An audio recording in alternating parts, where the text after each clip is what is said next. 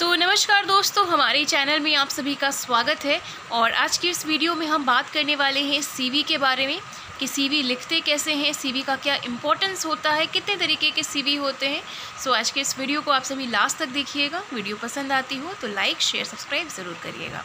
तो चलिए फ्रेंड्स बिना देर किए आज के इस वीडियो को हम स्टार्ट करते हैं।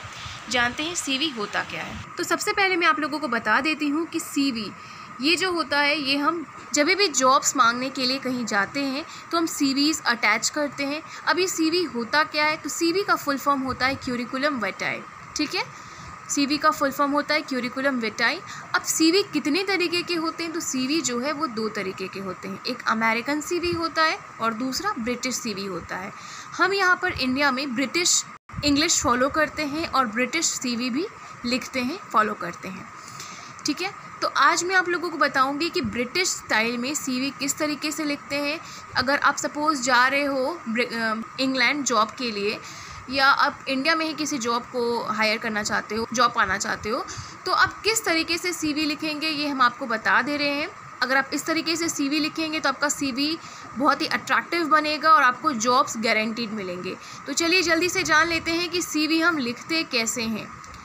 देखिए, ये इसका फॉर्मेट है। सबसे पहले हम यहाँ पे नाम लिखते हैं। नाम मैंने आप लोगों को बताया है जब भी आप नाम लिखेंगे, आप अपना पूरा नाम लिखेंगे फुल नेम लिखेंगे। जैसे कि हमारा जो नाम है, वो है प्रीति श्रीवास्तव। तो हमने यहाँ पे लिखा है हमारा अपना पूरा नाम, प्रीति श्रीवास्तव। उसके बाद हम अपना यहाँ पर एड्रेस मेंटेन करेंगे। हमारा जो एड्रेस है, वो है एक्स वाई जेड नगर, पटना। उसके बाद हम अपना पिन कोड दे देंगे कि हमारा जो पिन कोड है वो कितना है। उसके बाद हम यहाँ पे अपना टेलीफोन लिखेंगे, यानी कि जो भी हमारा मोबाइल नंबर है, वो कितना है। सपोज़ अगर हमें जॉब्स मिल रहे हैं तो हमें कॉन्टैक्ट किया जाएगा। तो कौन से नंबर पर कॉन्टैक्ट करना है, अपना हम नंबर यहाँ पर लिखेंगे, ठीक है? उसके बाद आपको यहाँ पे डेट ऑफ़ बर्थ अपना लिखना होगा। आपका जो भी डेट ऑफ़ बर्थ है, वो आप बिल्कुल इसी तरीके से फॉर्मेट में डालोगे।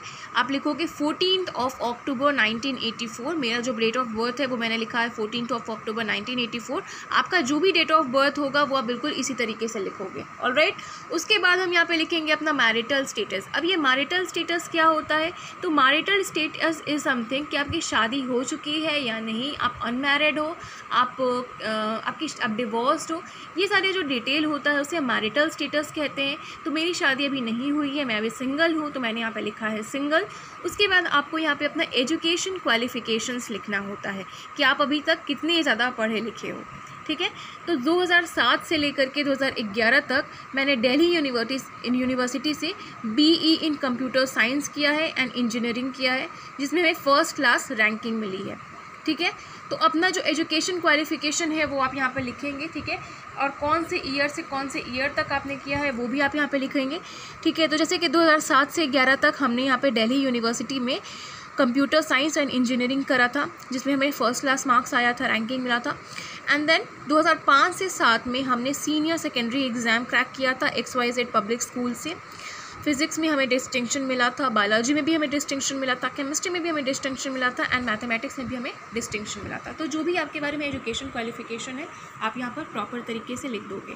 उसके बाद आप यहाँ पर लिखोगे एम्प्लॉयड टू डेट उसके बाद आप यहाँ पर लिखेंगे कि आप एम्प्लॉयड कब से कब तक कौन सी कंपनी में आप काम कर चुके हो। तो हमने यहाँ पर लिखा है दो हज़ार ग्यारह से लेकर के अभी करेंटली मैं Infosys limited electronic city Bengaluru में मैं काम करती हूँ। तो मैंने यहाँ पर लिखा है Infosys limited electronic city electronic city, Bengaluru. उसके बाद हम हमने अपना यहाँ पे स्किल्स लिखेंगे। तुम्हारी स्किल्स क्या क्या है? तो expertise in C plus plus visual basics हमने करा है एंड जावा उसके बाद हमने यहाँ पे अपना इंटरेस्ट लिखा है। इंटरेस्ट हमें स्विमिंग में है क्रिकेट में है, भरतनाट्यम डांस मुझे बहुत पसंद है, और पॉप म्यूज़िक बहुत पसंद है। तो जो भी आपकी इंटरेस्ट है हॉबीज़ है, वो आप लब से लास्ट में लिखोगे। तो दोस्तों, बिल्कुल प्रॉपर तरीके से सीवी हम इस तरीके से लिखते हैं एंड आई रियली होप कि आप अच्छे से समझ गए होगे कि सीवी किस तरीके से लिखते हैं, कितने तरीके के सीवी होते हैं और इंडिया में कौन से सीवी फॉलो किए जाते हैं। तो आज के इस वीडियो में इतना ही, इसी के साथ जय हिंद, वंदे मातरम, नमस्कार।